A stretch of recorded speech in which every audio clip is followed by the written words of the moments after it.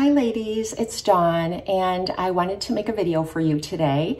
This video was supposed to be filmed yesterday and go up on Thursday like my second video each week typically does.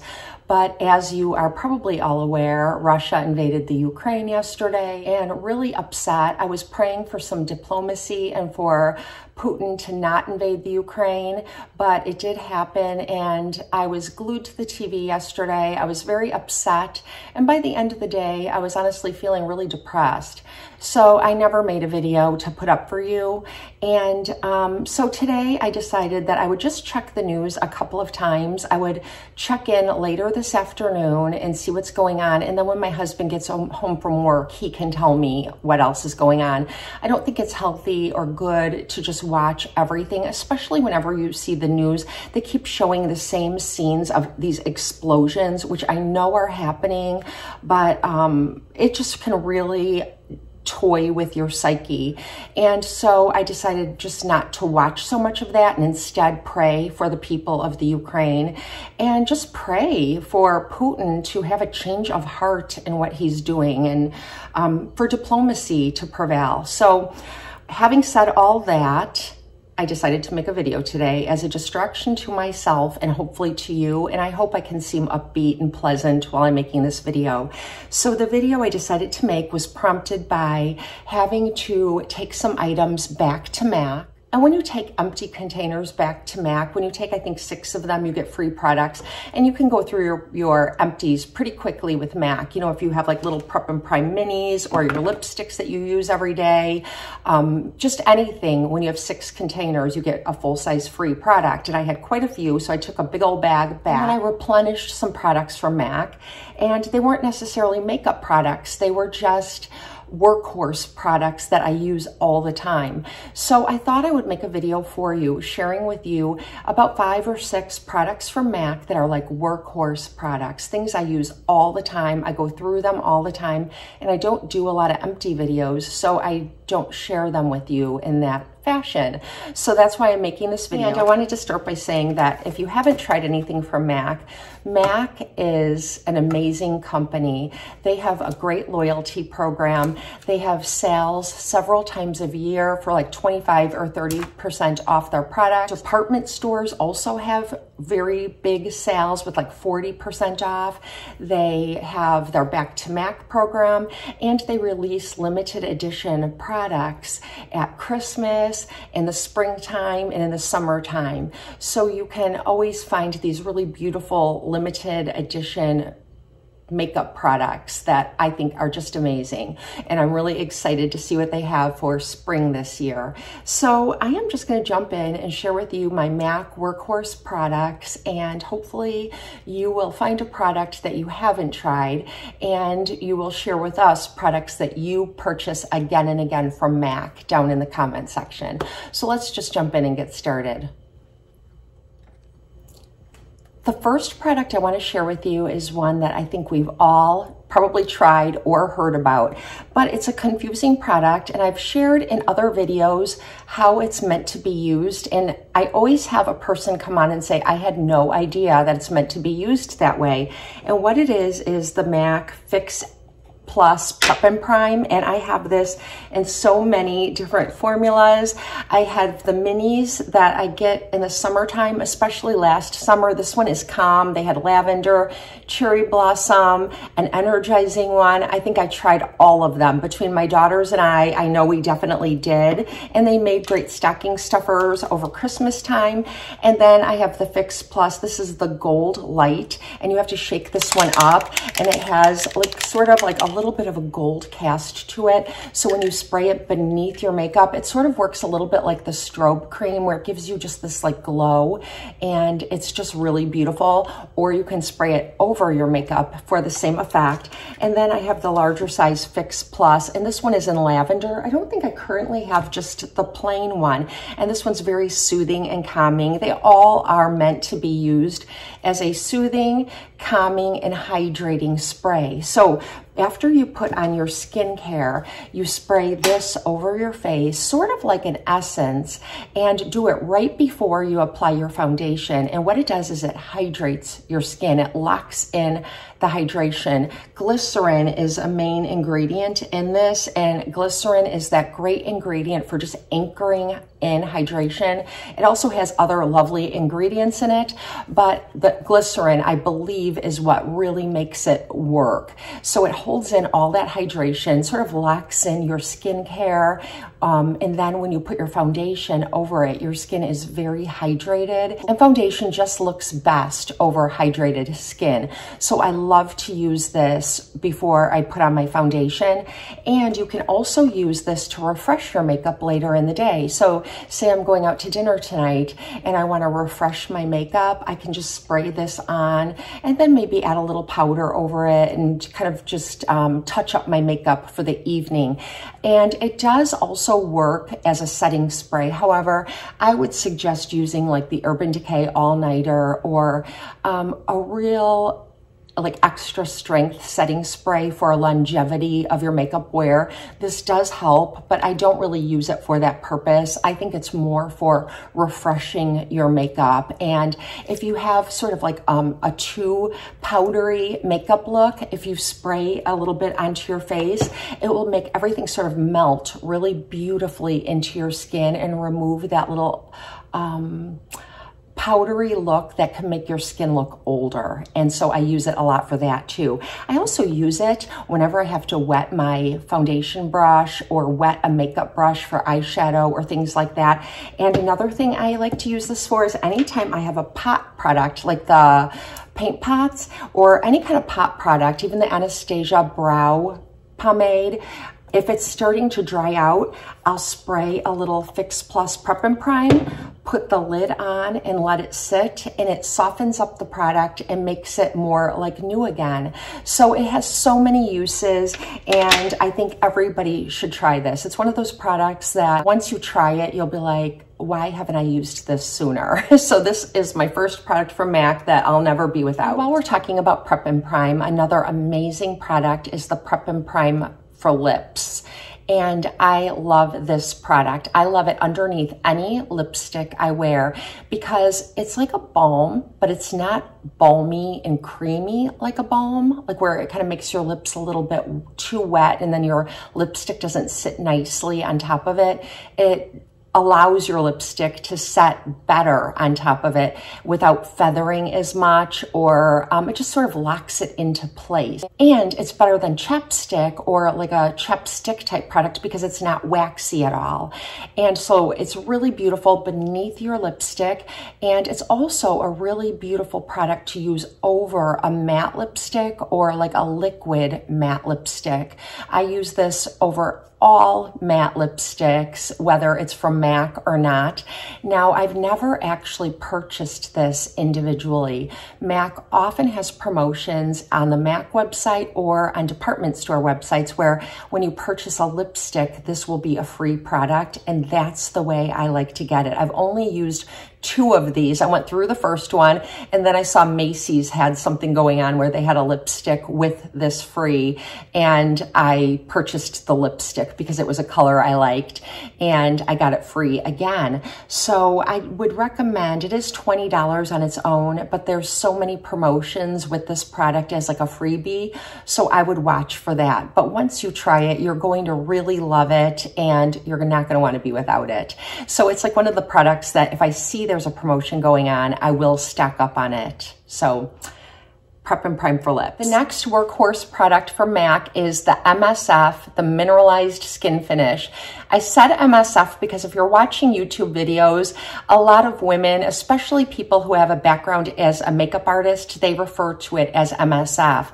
And so that stands for Mineralized Skin. I have a couple of my favorites right here, and they are baked products. So they look like this.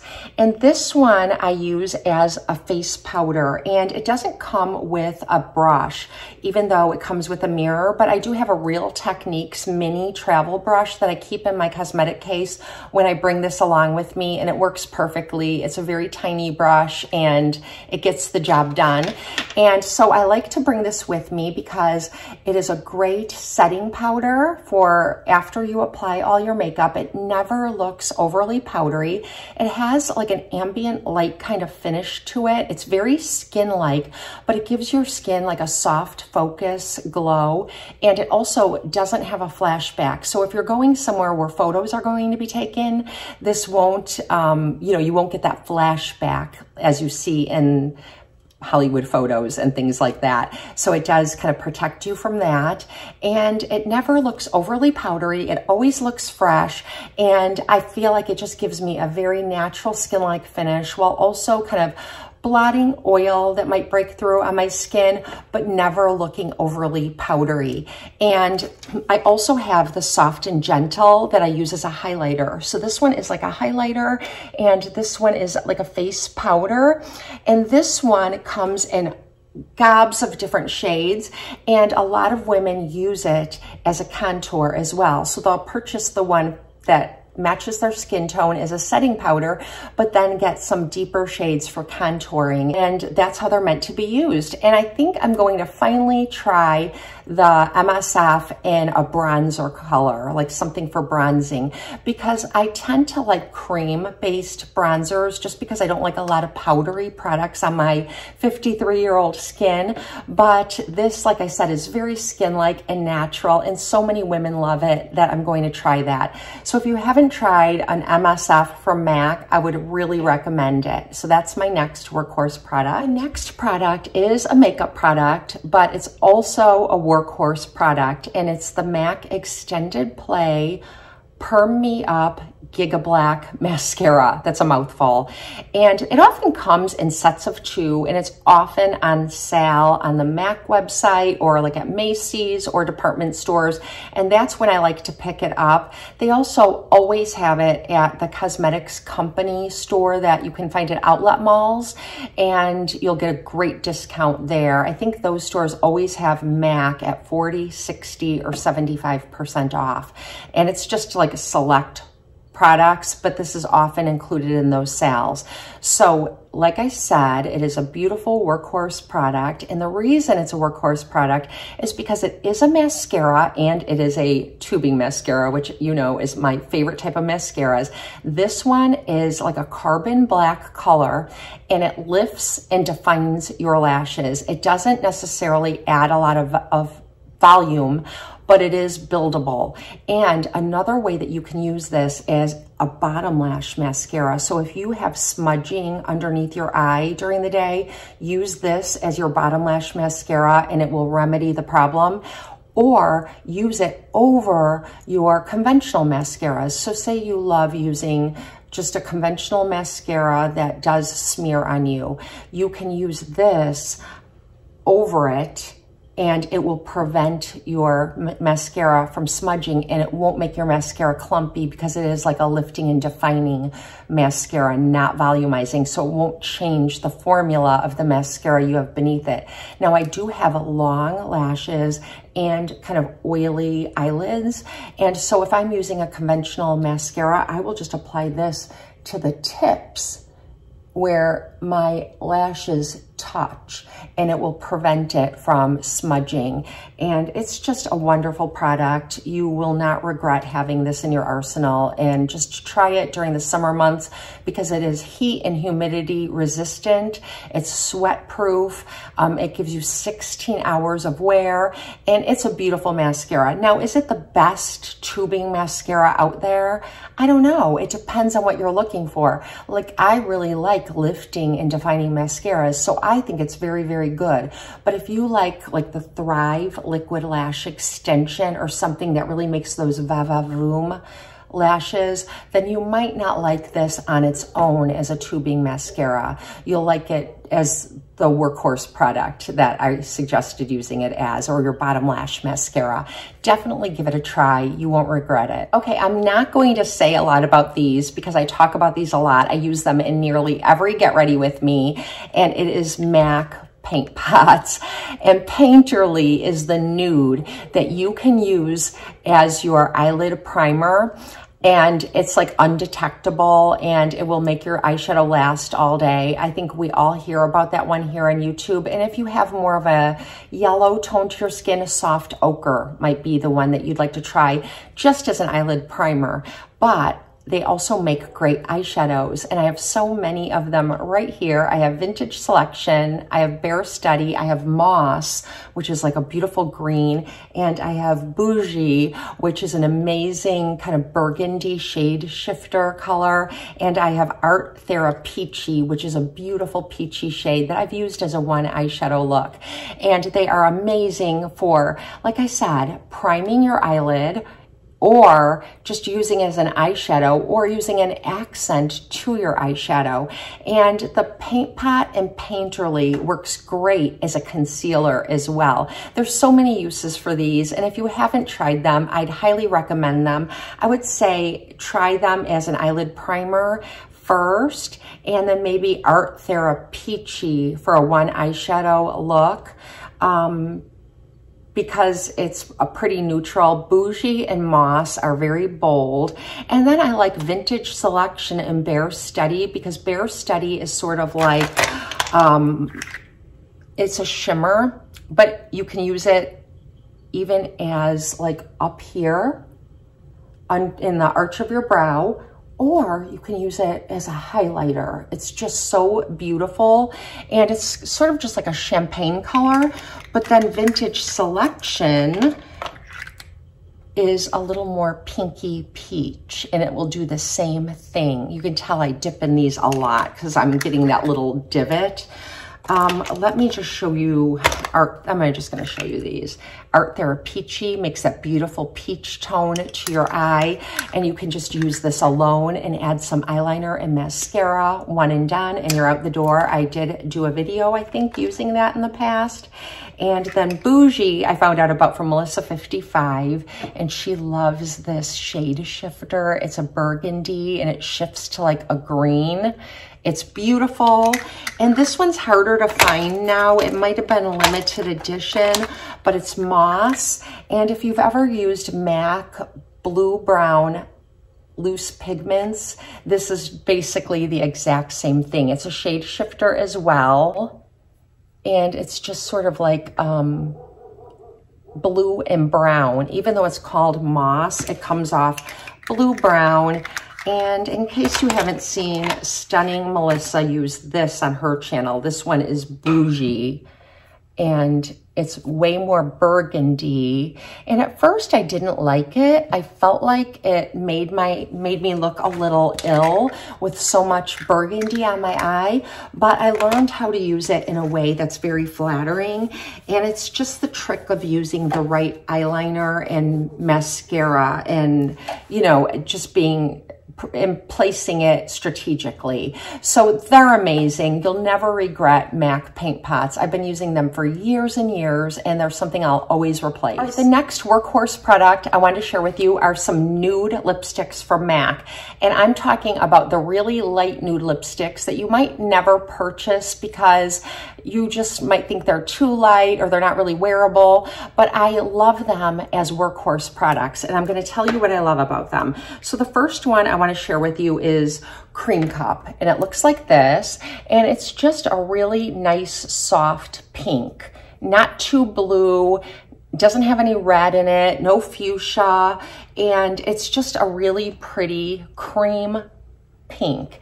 And I use this one very often.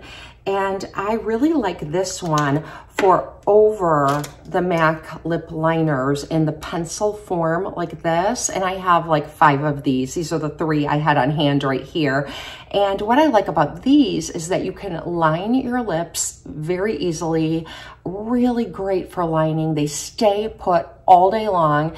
Um, they're drier. So, you know, there is, they're not like no tug lip liners. There is probably a little tugging involved, but once you get them on, they're not going to budge. And I do like to use them to fill in my lips as well.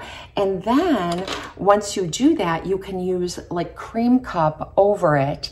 Today I have Dervish lip liner, which is like a mauve and cream cup over it. And that's my lip combo for the day.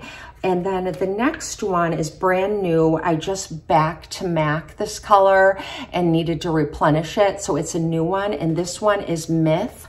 And Myth looks like this. And this one is gorgeous over MAC Spice Lip Liner. Very different than Cream Cup. A little more peachy. And I did just back to MAC Bosom Friend and picked up a new one. And Bosom Friend, I would never wear on its own. It's kind of like, um, I don't know, all those lipsticks that everyone loves, like Charlotte Tilbury, Kim KW, or some of those really nude colors that some women can pull off, especially if they have a deeper skin tone. But um, they make me look like I put concealer on my lips. But I'll tell you what I like this one for. And this is Bosom Friend and it's very, very light. You saw how much I put on and it's much lighter than Cream Cup. It's just a very soft pink. And what I like to use this one for is if I'm using particularly my MAC lipsticks, but they'll work with any lipstick. So I really like MAC Please Me, which is a matte and it's a pink and I think I have it. So this is MAC Please Me. It's beautiful on its own, but on me, it can come off a little bright because I'm so fair, and that's what it looks so like. It's a matte formulation, and I like to add like something creamy over it, so I would take Bosom Friend or Myth and apply it over my please me. And now, I don't know, it sort of mutes it down. This sort of has the effect that like a lot of women like to use White Russian gloss from Buxom, I do too, to kind of lighten up their darker products. But this is in a, like a lipstick form and it's cream, so you're not wearing a gloss. So I really like it for that. It makes my darker lipsticks more wearable, whether it's a liquid lipstick matte or a darker matte lipstick. Those three colors just work really well for muting them down. Anyway, I hope you enjoyed this video. If you did, don't forget to hit like. Please share with us any workhorse products that you have from MAC or any products that you might be interested in trying. And um, yeah, I hope you have a blessed and beautiful day and I'll see you next time.